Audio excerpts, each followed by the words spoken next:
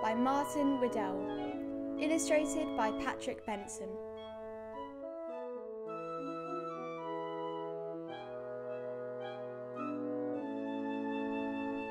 Owl Babies. Written by Martin Waddell. Illustrated by Patrick Benson.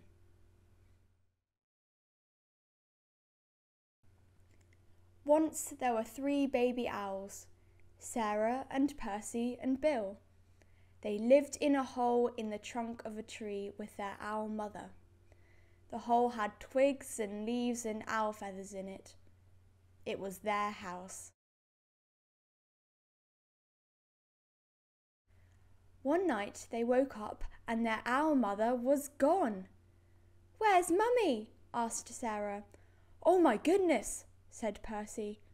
I want my mummy, said Bill. The baby owls thought. All owls think a lot. I think she's gone hunting, said Sarah. To get us our food, said Percy. I want my mummy, said Bill.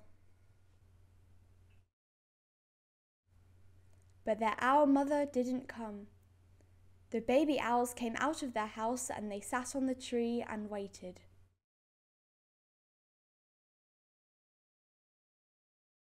A big branch for Sarah, a small branch for Percy, and an old bit of ivy for Bill. She'll be back, said Sarah. Back soon, said Percy. I want my mummy, said Bill. It was dark in the wood, and they had to be brave, for things moved all around them. She'll bring us mice and things that are nice, said Sarah. I suppose so, said Percy. I want my mummy, said Bill. They sat and they thought. All owls think a lot. I think we should all sit on my branch, said Sarah. And they did all three together. Suppose she got lost, said Sarah, or a fox got her, said Percy.